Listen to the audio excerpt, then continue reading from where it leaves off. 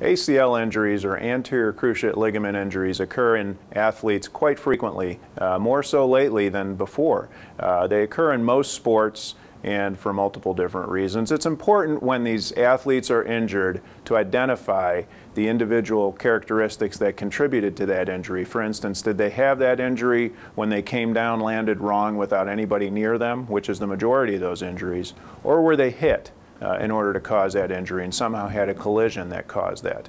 Uh, it's important to identify other injuries that occurred along with the ACL injury. As surgeons, we're looking for other ligamentous problems or other meniscal injuries, other cartilage uh, that, that might have been injured so that we can treat this injury appropriately.